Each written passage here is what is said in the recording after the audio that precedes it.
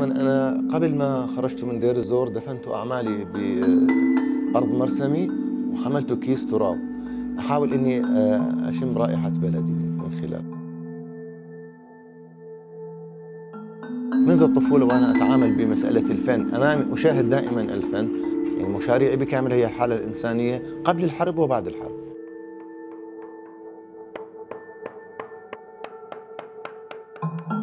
لكن ما يجري في سوريا أنا لا أستطيع إني أرجع إلى سوريا بهذا الوضع يعني. إيه بتركيا في مساحة كبيرة لإلي صارت. النحت أنا عندي النحت ما هو تجارة مالية عندي أنا النحت هو رسالة من روحي أنا. يمكن أن أنا شاء القدر إني أكون نحات. أنا قام أدرس عمق الحزن الحزن هو حزن العالم من خلال الحروب. ليس بسوريا أتكلم. أتأمل أن يحل السلام في وطني وفي جميع العالم.